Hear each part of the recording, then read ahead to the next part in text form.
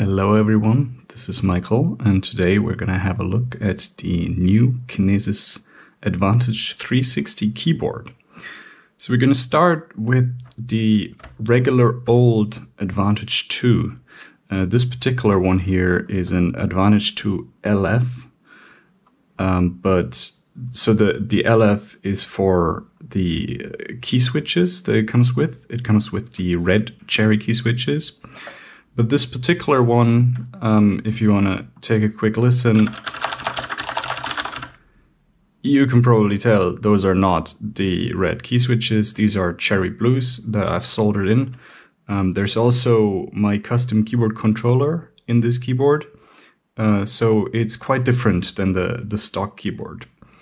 But uh, just for context, so I've been using an Advantage 2 keyboard for well over the last 10 years.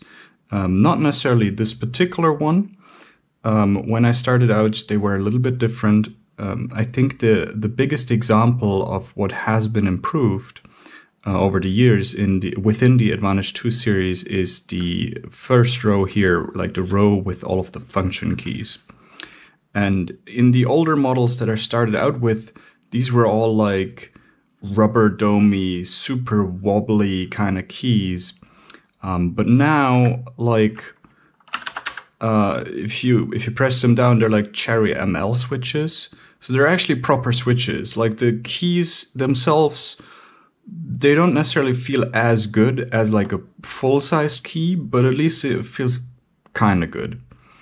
Um, so it's actually like with the older Kinesis series, I would never use the function keys. And with this one, it's kind of okay to use the function keys, like, you know, pressing F12 to bring up the developer tools in your browser, um, or pressing F1 to like bring up the help. Um, or, you know, when you're debugging and you want to like step into functions and use like F10, F11, uh, F- F11, F12, that sort of thing. Uh, that actually works reasonably well uh, with the with this one here. So um, Kinesis announced they have a new keyboard um, and they open it up for pre-orders and I pre-ordered one just to see what it would be like. Uh, and a couple of days ago, it actually arrived. So uh, let's just put this one here to the side. And instead, we're gonna look at the 360, which as you can tell is a split keyboard.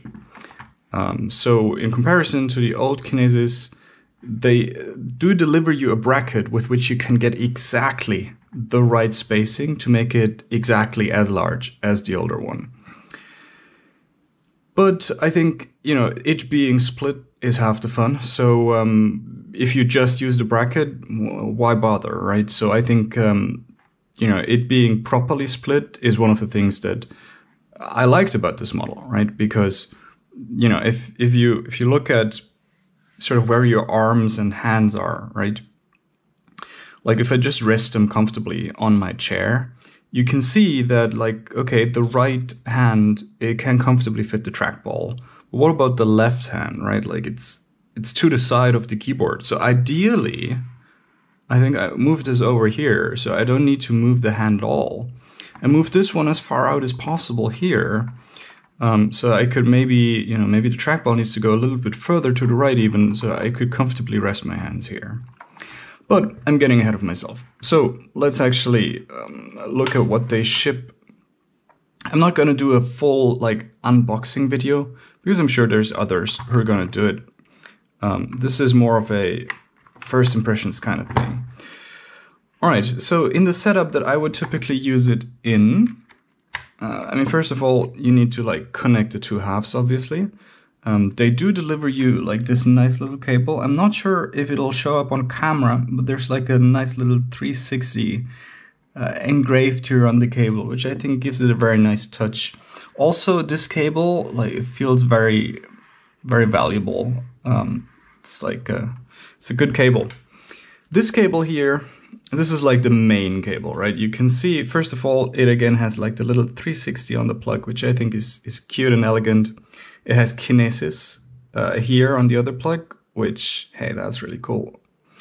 Um, and then it has another Advantage 360 um, labeling here on this sort of um, on this thing here. So the thing about this cable is it, it is long, right? So on the one hand, that is good um, if you want to connect your keyboard and your computer is like under your desk and you have a far away to go. On the other hand, I I'm really not a friend of having these cables which are sort of you know stiff and formed like that. Like I just wish it was a little more flexible. Um, so you could more comfortably like roll it up or something. But I suppose what I'll need to do with this one is just you know, it, it plugs in here. You can't plug it over here. Like if you plug it into the left hand side, the left hand is reserved for like the foot pedal, which, you know, if you haven't heard it, this might surprise you, but Kinesis does make foot pedals. All right, so let's plug it in here. I'm probably just gonna like, you know, wrap this up nice and tight. All right, but you can kind of see that now we have this sort of bulky cable lying around. Well, I suppose that's why I get for taking the cabled one instead of the wireless one. But here we are. All right, so cool.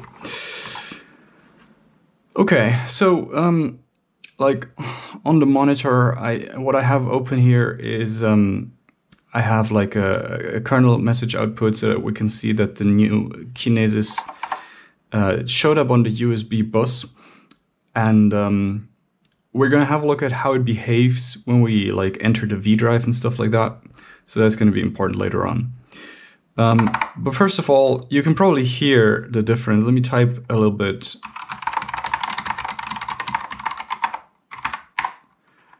All right, so I hope it comes across reasonably well on the video, but what happens here is you can hear me typing on um, what are Cherry MX Brown key switches, which is what the Kinesis has historically been shipping with, um, and what this one is shipping with as well.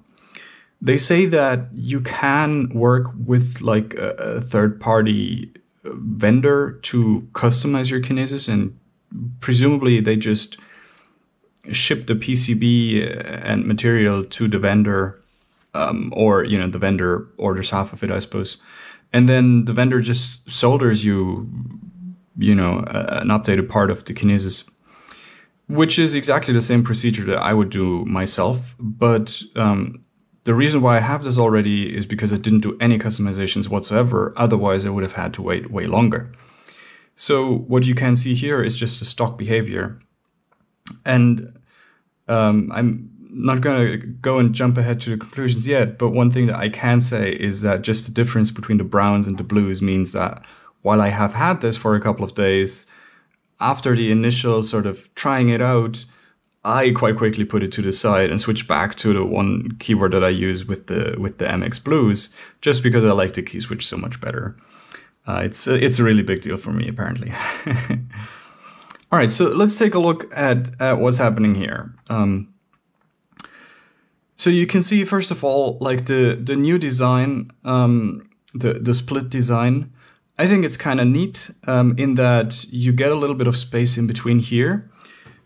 If you take a look at the older one, you can actually see that in the middle here, I actually installed these little rubber feet. And this is a position in which I like to rest my smartphone in which like I quite like. And this is not possible anymore with the new design, right? So either like I can't rest it here. I would need to move these apart for um, to to make enough space that I could rest it on the desk, which you know that's probably fine. Like probably a lot more people are able to just move this a little bit further and then use the space in the middle of their desk. You can also kind of see that this is about as far as the uh, cable that they included will go. So if you need to move it further out, uh, you'll need to use a custom USB-C cable, which they also say that you can do and any cable should work. Um, I suppose one should qualify that with any cable that supports a data connection will work, because sometimes there's cables that are charging only, and I mean, obviously those won't work. All right, so you know, I can I can rest my phone here, um, no big deal. Um, then it also means that all of the LEDs, which were sort of over here in the middle have now moved out to the sides. And the even larger change uh, in, in terms of visual and, and key layout actually is that what used to be a separate row, and I'm gonna pull the other keyboard up here just to just to illustrate. Um, what used to be a separate row here of escape and the function keys is no longer a physical row of keys on the keyboard. Instead, you can see that the function keys have sort of moved here, which I suppose is fine because that means that now you can actually press the function keys and you get sort of the the proper key feel, right? Like it's it's a proper key, it's not a different key anymore. So it's good in terms of uniformity. But if you look at the legend, you can see that, for example, F5 is on number four. And like, it's sort of weirdly shifted one, right? And the reason they need to do it, obviously, is that they don't have enough keys to make it sort of match the numbers. So F12 is here on the very far out key. Um, there just isn't enough space in the layout to like properly have them align up. But I still think it's sort of I, I foresee that I'm going to hit the wrong key. um, and the other thing is that you know with the with the top row being merged into like the key wells, it's not a big deal for some of the keys, right? For example, there used to be like a program key and, and a keypad key, and these are now here, like the KP is like the keypad layer key. And if we press it down, you can see that the LED over here um, it changes, right? Um, so that indicates in which layer you are, which is very good because otherwise it can be very confusing. And the other layer that we have is the function layer, which you can already see like a difference here is the keypad layer is sticky and the function layer is not sticky. You need to hold it down or you need to press two function keys at the same time to make it sticky. There's also like a second and even a, I believe a third function layer, which I haven't quite figured out yet how to use them. Okay, so the the the like the keypad key, no big deal. The reprogram keys, no big deal. There's like this new cool um, shortcut key over here. Like these these three are actually extra, right? Like they did not exist um, in the old keyboard, right? In the old keyboard, you had YHN, YHN, but then these three keys they just physically did not exist on the old one. Similarly for the function keys, like on the very top on the very bottom left and on the very bottom right, these function keys did not exist in the old Okay, so, okay, keypad program, no big deal. But then the big deal is escape. Where is the escape key, right? And what they do is, by default, they put escape here, right? Where, where caps lock used to be. And caps lock goes here. And you can see that I already switched these out. I switched these out against blank keycaps. So this one here, like these two keys, escape and caps lock, I reverted them to be caps lock and escape. And that's not because I'm a fan of caps lock or anything. And I think the decision by Kinesis to switch them out is actually a great decision for the vast majority of people. But I actually need this one to be caps lock because in the software level on my computer, the keyboard layout that I'm using makes heavy use of the caps lock key. Like the layout itself remaps it to be a modifier key. So for me, this needs to remain the modifier key. There's just no way around it. I can't press this one. I need to have this one all the time because like when I'm typing in my editor and I want to say, for example, um, you can find the config file in, and then I would use slash. And the way I, I generate a slash in my layout is modifier and S, right? In slash etc. Um, so for me, it's vital that this remains caps lock. So the improvement that Kinesis did in terms of changing the default layout, it doesn't help me. But it also doesn't hurt me, and it was very easy to like swap these two keys around just using the remap functionality. You don't even need to go into all of the heavy customization for that. Just swapping out a key, like remapping a key, is very simple, and you can do it on the keyboard itself. Um, and and also they like deliver you these keycaps. There's also like one that does uh, have caps lock on the label, and I could have put that there, but I felt like the blank ones were cooler, just to indicate that there's something going on here in my layout that is non-standard. All right, so but then that leaves us with well now okay, but where's the escape key, right? Um, because now it's kind of here. Um, but I usually I, I map it onto the delete key because that's on the thumb cluster, and I like to have it conveniently here, right there. It's a leftover from when I was using Vim all the time, but still, it's just what I'm used to.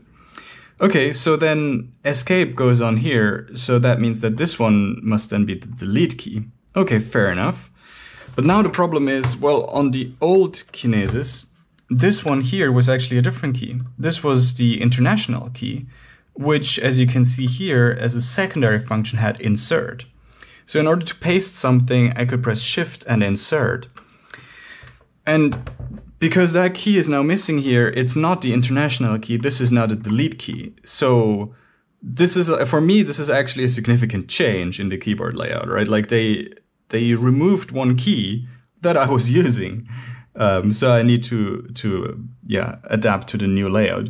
What I have resorted to is using this key here, which is like the um, backslash and, and and pipe symbol, because I figured out that I actually never used this uh, for its proper function. As I mentioned, I use a different keyboard layout, right? And like a backslash and a pipe symbol, for me, those are the keys that, that come out of like the, the left-hand side modifier that I was talking about. I never need to reach up here. So I figured, you know, it looks kind of similar to the international key. I remapped it to be that international key. So for me, now, you know, shift insert, um, it does work by just shift and then that, that other key here. Okay. Minor key mapping aside, um, let's talk some more about the, the different key caps and sizes and forms here. So, you know, obviously, uh, I already mentioned I swapped out these two. Another modification that I did is um, swapping out this one here and then the the alt keys here like by default this one here when they ship it it's the windows key and i just don't like to be reminded of windows's existence on my keyboard. So I usually switch it out for like the alt key because for me, this is the right alt, this is right control, left control, left alt. And then the other key that I definitely need is actually a Windows key. um, but not for, uh, you know, its Windows look or anything, just because it's one of the modifiers and you need a couple of modifiers to get along. So um, I took the mod keycap that they had, which I gather in the Bluetooth variant actually goes up here, but it's convenient for me to put it here. And I replaced the home function with the left Windows functionality.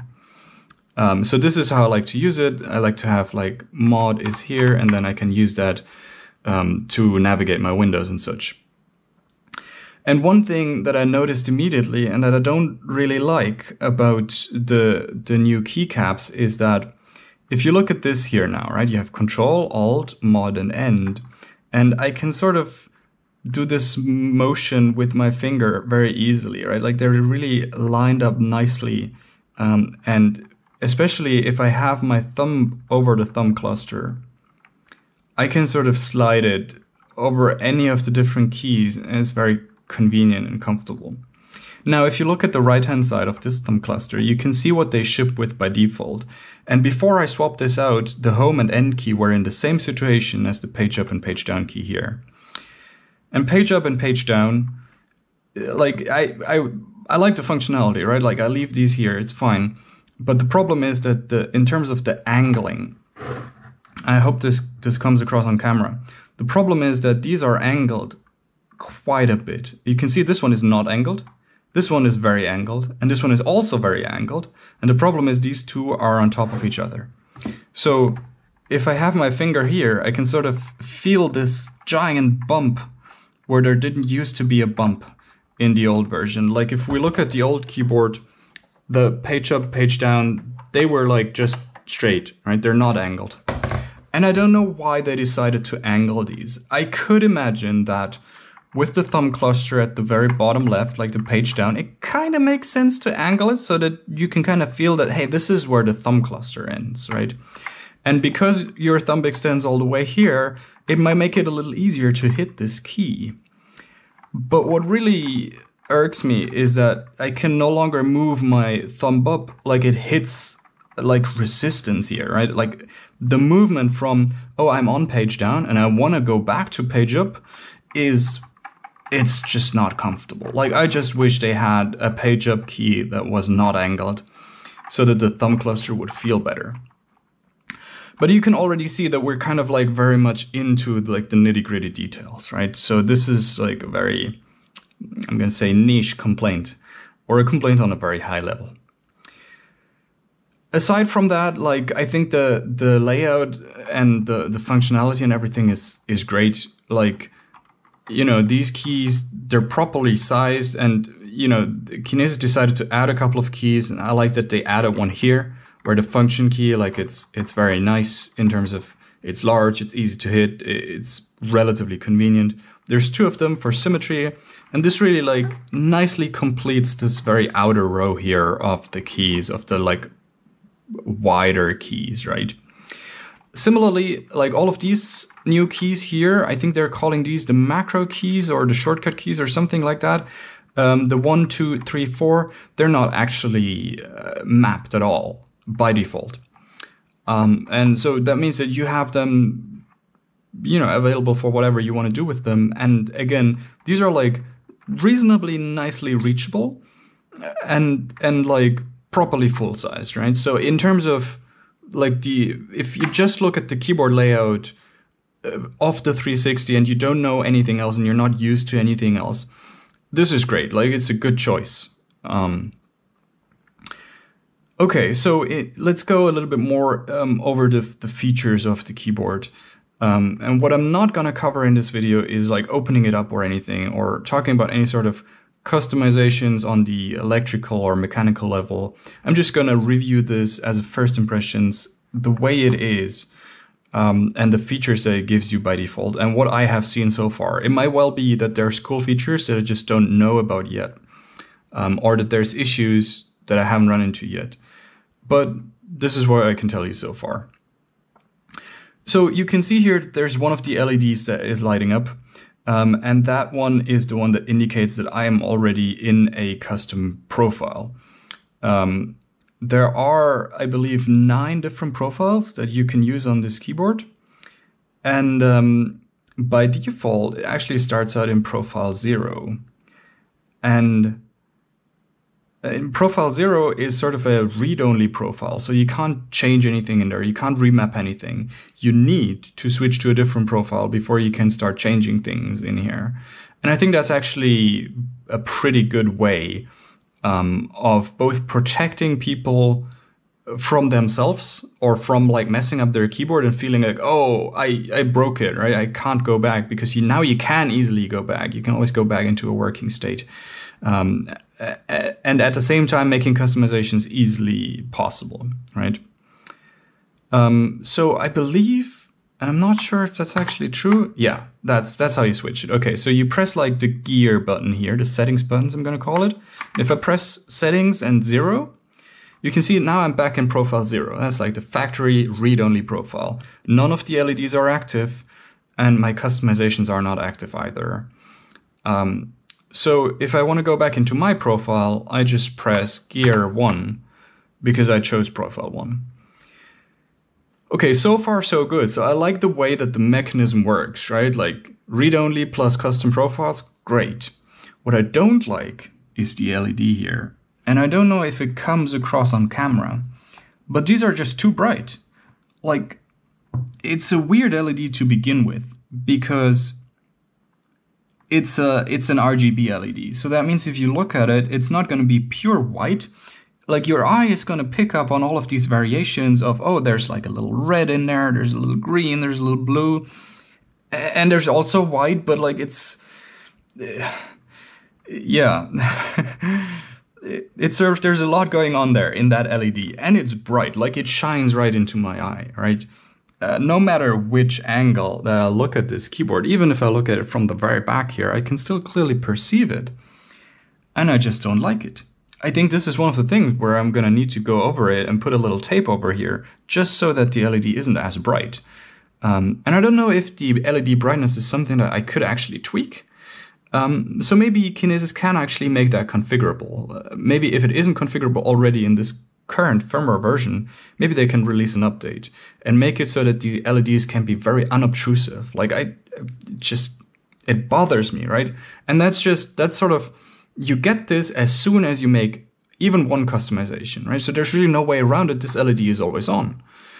Unless you're like a very vanilla keyboard user, but then why would you spend all of this money on a Kinesis keyboard, right?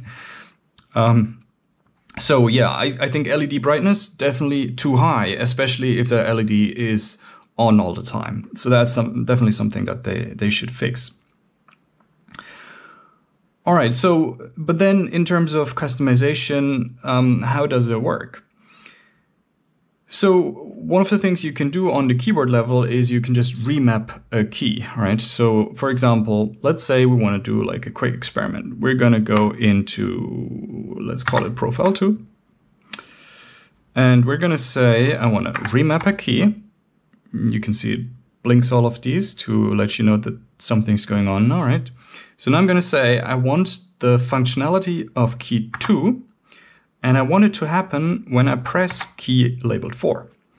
So if I now go back and I type 1, 2, 3, 4, you can see it typed out 1, 2, 3, 2. Um, so the key has been remapped. So you can see this is how simple it is to remap a key. Um, you just initiate the remap functionality, you say source, destination, and this is also how we just restored. One, two, three, four. Now it's a four again. Perfect. Okay, so I'm going to go back into profile number one, which is where my existing remaps are. Cool. Um, let's see what else is there to talk about.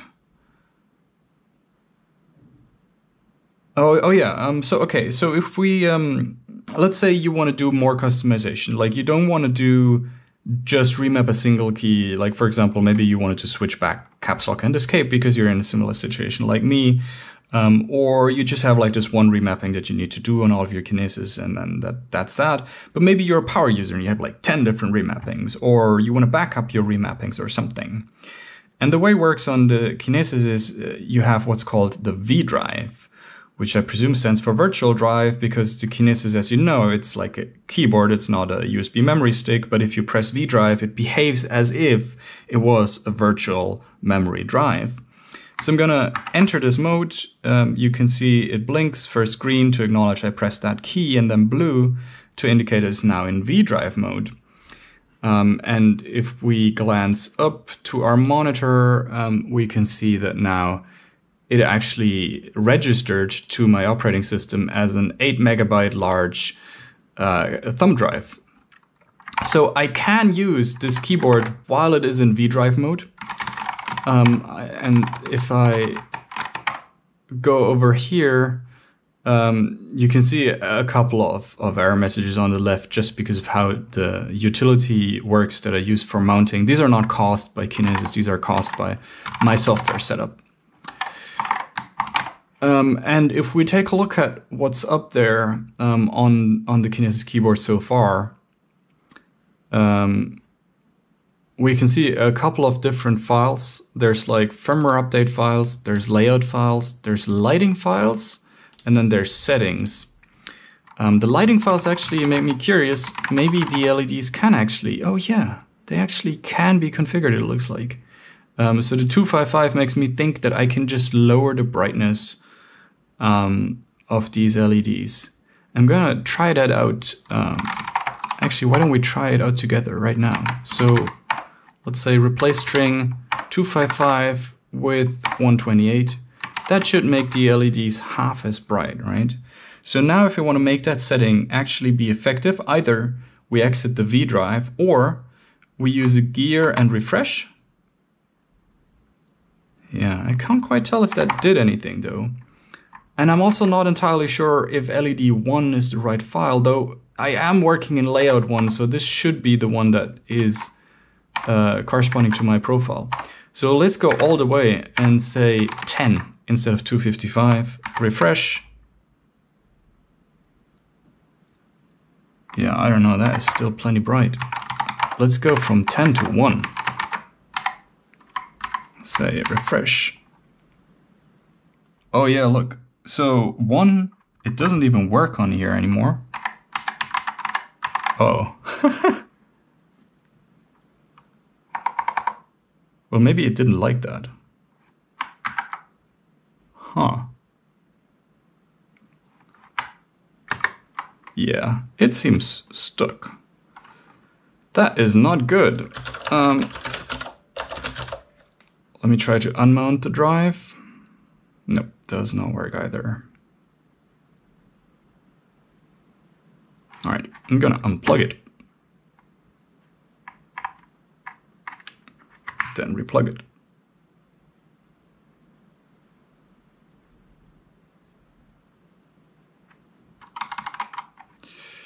Okay, so the keyboard is here.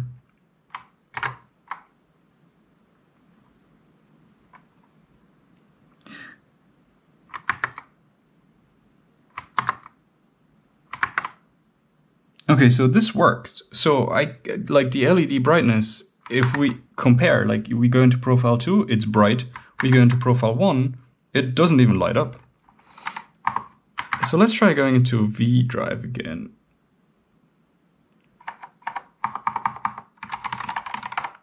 And you can see it kind of works, but not on this row here. So I'm thinking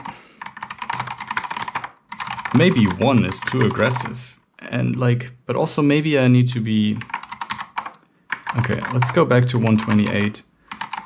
And like, I'm gonna solve this later. But yeah, okay. Weird. um, all right.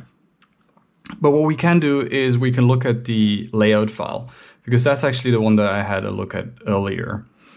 Um, so what we can see here is that we have a bunch of customizations and these are stored as sort of uh, yeah i don't want to say key value but like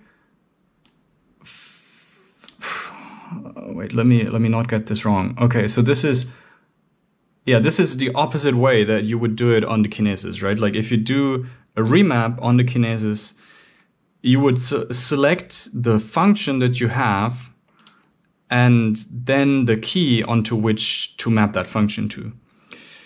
Um, on the file here, it's exactly the other way around. Um, in the layout file, you have the key that you want to change the function of. And then you have a, an arrow, and then you have the function that you want to have appear when you press the key. So in my case, I just have a couple of customizations. As I mentioned, um, I have the caps lock and um, the caps lock and escape switch. Uh, let's see. So escape does caps lock, caps lock does delete. Right, right. And then delete does escape. Yeah. So that's sort of like the triple that I have right there. Then I have like the insert one, which is on the backslash key.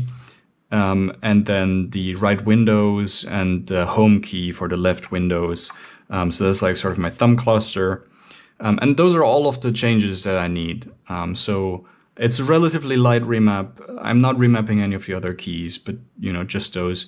And it, it didn't take me very long to arrive at those. Um, I also looked at the Windows program that they ship. Um, and it's nice in that it allows you to like graphically change. And obviously you don't need to look up any of the, I think they, they call them tokens like the programmatic identifiers for the for the key names and functions. Um, obviously, if you have like a, a GUI program, then that can just prompt you for everything and validate your stuff, etc. But you can also just as well just mount the V drive, edit the stuff in a text editor, save it, and that's how I did my first customization on it here. So that's perfectly fine. Um, Okay, cool. Yeah, so then to exit the V drive, all you need to do is um, gear V drive again and then you exit it. Okay, um, so one last thing that I want to talk about is um, the the tilting and the splitting, right? So we already mentioned it's a split keyboard. Personally, um, so the way that they say you should do it is you should start out with moving it all the way together and then moving them out until you find the sweet spot. Now, personally, I haven't quite found the sweet spot. Um, and I, I just don't know why that is. Like, you know, maybe the sweet spot should just magically occur to me as soon as I move it and rest my hands, but that's not how it happened. Like, you know, as I was trying this out for the first evening, I sort of was like, okay, and if I have my hands like that, but then it turns out my hands are sometimes slightly angled, so maybe I should angle these to make it more comfortable, right? So maybe maybe they should actually go like this. And then it turns out that I had my one hand actually differently angled than the other. Um, and you know, I'm I'm just still looking for that magical position that I like, right? Um, just because of how I'm used to certain things, like certain ways of like moving my hands over the keyboard and certain ways of resting my fingers on the keys. Um, it just, I don't know. And maybe for me, the answer is I just need to use the bridge and go back to like the original way of how it was. But then I can't benefit from it being a split, right? So I'm not yet decided on whether I want this to be a split keyboard or not. Um, but yeah, we'll see. And then the other thing you can do here is you can not only split it, but you can also tilt it. So let me demonstrate. You have this little key here, which unlocks this mechanism. So if I hold down the key, I can now angle it higher and I can go back if I press the key again and then go lower, right? So let's see. Right, so this is sort of middle, this is low, and this is high, right? Right. So, and the way they say is you should start out on low, I believe, and then angle it until you feel comfortable. So this would be like the medium angle on both, right? And that actually uh, feels pretty decent. Um, and then this would be the high angle on both. And you can say, still feels pretty decent. And it works. This now starts to remind me of the keyboards that actually go like all the way like this, right? Where you would type like that. It's not quite as pronounced, but it is pronounced enough that you do notice like this is weirdly different than other keyboards, right? And I'm not saying it's weird per se. Like, I probably could get used to this. But, yeah, I don't know how convenient and comfortable it is. So previously I have just been using it on the low setting. Um, but I do want to experiment a little bit with like the medium setting maybe. I feel like that could probably be the one that I get used to first. And then I don't know if I'm going to switch it up all the way to high. Um, and they say that this is because like if you look at your hands, right, the natural resting position is kind of like this. So already if you're doing this, you're in an unnatural position. So ideally you would do this or maybe that, right? But not all the way like this. So you can kind of see where they're coming from. Um, but at the same time, I don't know how necessary that really is. All right, and then one last bit that I want to review in this first look before I wrap it up is the the the thumb rests here. And as you can see, currently I don't have any thumb rests on here, right? I just have like the plastic. And on the old one, you can see that they had these sort of pads um, that are just like glued on top of them, right? Like they're they have an adhesive. You just push them on here. You can kind of remove them uh, and replace them. And on the new one, let me fetch those real quick. So on the new 360, these are the thumb pads that they ship. And I have tried them before, but um, you can probably guess by the fact that I've put them back in the box that I didn't really decide to use them. All right, so these are the new thumb pads. Um, and they're like, they're, they're way higher quality than the old ones, right? They're no longer this sort of flimsy feeling pad. They're like this is a proper proper cushion, right? Like it really reminds you of an ergonomic mouse rest or something like that. And the bottom plate here is magnetic. So it just snaps in place like that, right? And you can take it off like that. So in terms of mechanism, this is great, right? This is such an improvement. You can put them on, push them off uh, when you want to swap them out. Um, But here comes the big problem. They are just way too high. Like as soon as I put my hands on them, I feel like I'm like a centimeter or so angled and angled uncomfortably. Like it's too high for me to properly feel the backspace key and the space key. Like, you know, it's as if you're you're pushing your hand into it like this. Like I need to remove them in order to be in a comfortable position. And this is surprising to me because on the old ones, I'm a believer in the palm rest, right? Like I always put the pads on there, and if the pads are not on there, it doesn't feel as good. But with the 360, it's the opposite way around. Like I don't want the palm rests on there. I thought I needed them, but I like they're less comfortable than if I just use the keyboard as it is, right? Like this plastic, actually pretty decent. I can rest my hand on here, no problem. So I'm just not sure. Maybe I would need to give these way more time. Or maybe I would need to like wear them out a little bit. But what I can say is that they're just much, much higher than the palm rests on the original. And like for me, I just don't want to put them on. So if you're considering ordering the palm rests, be sure to check them out first, um, or just be aware that you might end up not using them. Um, but yeah. So that about concludes this first look on the Kinesis 360. This is the 360 Smart set, so it's not the Pro model yet. Um, so there's no like open source firmware on this one, no ZMK firmware on this one.